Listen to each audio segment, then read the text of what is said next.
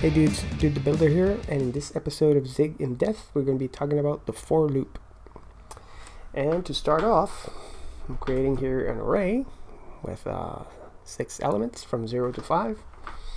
And for loops can be used to iterate or over uh, arrays uh, or slices, as we're going to be uh, seeing further down uh, ranges also. Um, here we have an example of a for loop that iterates over the array. Okay. Uh, here we are capturing each of the elements uh, on each of the iterations of the loop. Uh, we use uh, this uh, syntax here with the pipes. And uh, if it's just a single statement like we're doing right here, um, you don't need the, the curly braces. You could have the curly braces like this um, but it's uh, it's not mandatory if it's only one statement uh, that you're going to be executing on each iteration. Uh, and uh, here we basically print out uh, each of the items with a space separating them. And then we print out a new line for uh, separation, okay? Here we're demonstrating that we can do the same with a slice. We're, we're basically taking a slice here and uh, we're uh, basically just doing the same thing printing out each of the items. Here we have an example of uh, a situation where you want the, the, index of each of the items okay? So uh, basically we are taking advantage of the fact that the zig for loop can loop over more than one object okay? The first object that we have is the array itself and after the comma, we have a, a, an unbounded range here starting at zero and uh, going off into infinity. But actually, this will be turned into a range that basically goes up to the length of the array. Because when we are uh, iterating over more than one object, as we will discuss uh, in a further example, um, they all have to have the same length. Okay, that's a requirement for the multi-object looping.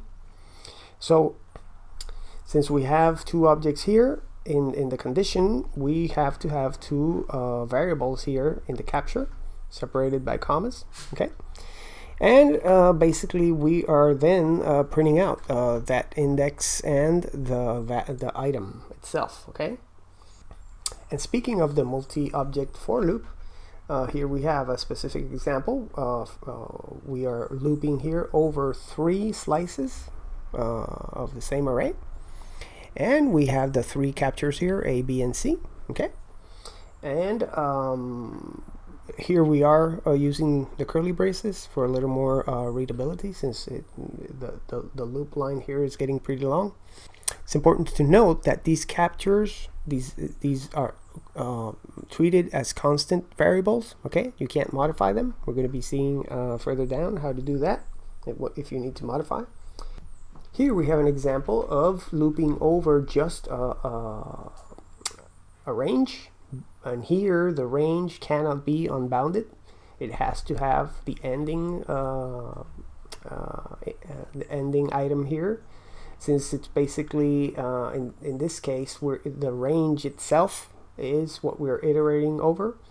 Um, these would be the elements uh, the, or, or, the items that we're iterating uh, uh, and obtaining in each of the one, you know, each of the iterations. And uh, it's uh, it would be from 3 to uh, 10 exclusive. It would not include the 10 so it would be from 3 to 9 okay? Um, next up we have an example of uh, how you can use break and continue. Okay both of these uh, keywords can be used within a for loop. Continue will uh, immediately start the next iteration and will not execute the, the, the rest of the body of the loop. And break will break out of the loop immediately and will not execute the rest of the body either. Okay. Here we see an example of a labeled for loop. Okay. Labels, as, as we saw previously with blocks, a label is basically an identifier followed by a colon, okay? And once you establish a label for the for loop, you can use it with continue or break. Here we are uh, showing an example of how to break here uh, with the outer label. When you're going to use the label with continue or break, you're going to put the colon before the identifier, okay? And this will uh, basically break out of the outer loop, not just this inner loop, okay?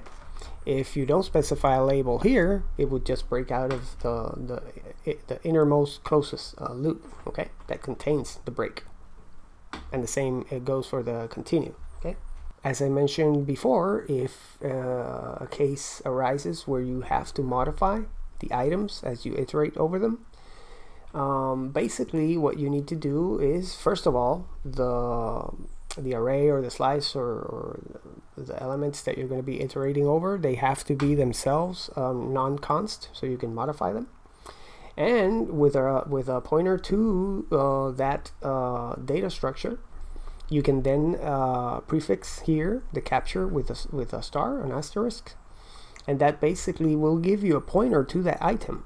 And now you can modify it via that pointer, as we see here, we're dereferencing the pointer, and multiplying it by 2 and assigning it to the item itself. So this uh, mutates those items in the array, okay? And then we print them out. So it's pretty simple um, to, to have a loop where you can modify the items, okay? And now uh, we're going to see an example of how we can uh, use a for loop as an expression. And this is a really flexible and powerful mechanism that Zig offers. Um, here we're going to see an example of how we can use it if say you have uh, as you see here we have an array of optional U8s okay say that you're receiving this data uh, and um, the, the rules uh, of how to handle the data basically stipulate that the the elements will uh, be uh, terminated once you arrive at the first null okay? So basically you know that after that first null everything else is going to be null. So that's basically the like a sentinel as we've been seeing in, in, in other cases uh, but here instead of being an explicit sentinel uh, array it's just a normal array and we know uh, based on the knowledge that we have of the data that once we arrive at the first null, uh, then the, the valid items are over, okay? So we can use a for loop as an expression precisely to obtain a slice from this array of just the items that, that are um, up, up to the first null, okay? But not including. So we're defining this constant here that says just nums, okay? And we're using a for loop over the array and also uh, an unbounded uh, range here for the index and what we're going to do is uh, since each of the elements is an optional we do an equality test on null here and if it is null then we know that we reach uh, that index that's one past the, the final uh, valid element. So we break here and uh, we can break with a value okay? And this is uh, part of, of, of, the semantics of using the for loop as uh, an expression. When we break we we have to pass a value because that's what that's the value that's going to be equal to or what the for loop is going to return okay? So in this case if we reach an item that's null we can then slice the array up to that index okay? And since the slicing operation is uh, exclusive on the upper bound we're going to obtain a slice precisely up to but not including the first null okay? And if that never happens then uh, that this uh, the for loop as an expression has an else clause which it will execute. So the else will only execute if uh, we never break from the body of the for loop if we break, the else will not execute. But if we don't break, the else executes. And here what we do is we produce a slice of the whole array, okay?